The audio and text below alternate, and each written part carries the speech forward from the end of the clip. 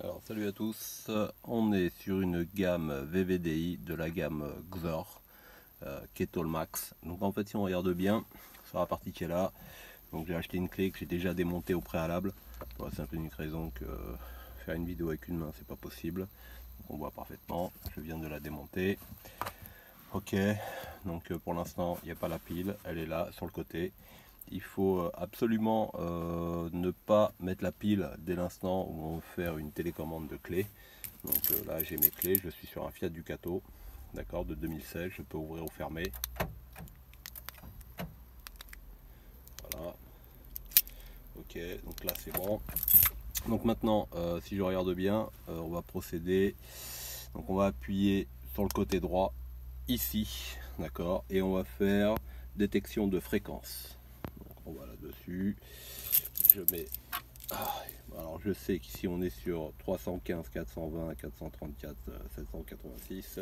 Pour la simple et unique raison que j'avais déjà essayé auparavant. Donc là, en fait, on va faire un test. Hop, c'est du ASK, d'accord, 433, 92. Donc maintenant, je vais faire clowner. Ok. Donc, je vais faire démarrer. Il me demande de verrouiller. D'ouvrir. Ouvrir le coffre. Voilà. Alors j'ai pas d'anti-panique donc je fais sauter le niveau. Ok. Donc maintenant en fait le but étant de prendre ma nouvelle clé ici de la brancher. Donc là c'est pas évident. Je vais le faire euh, un peu enfin en live mais euh, de façon à hop. Voilà elle est branchée. Je vais la brancher sur l'appareil. Alors j'ai un petit détrompeur vers le bas. Désolé.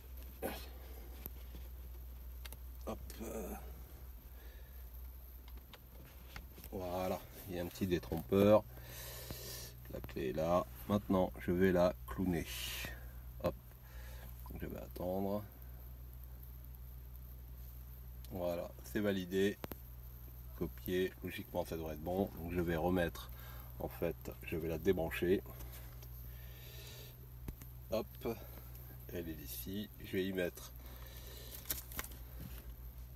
ici la pile. Voilà, et logiquement,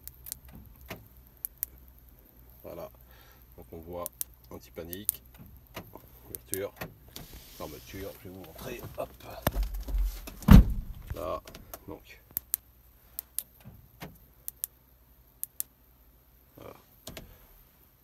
On peut fermer on ouvrir le véhicule hop.